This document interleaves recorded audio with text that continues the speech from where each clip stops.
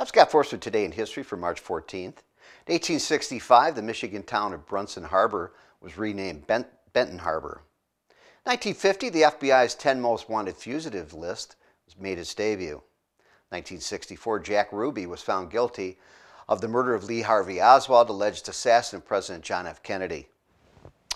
In 1958, Perry Como's Catch a Falling Star is certified gold. I'm Scott Forbes with Today in History.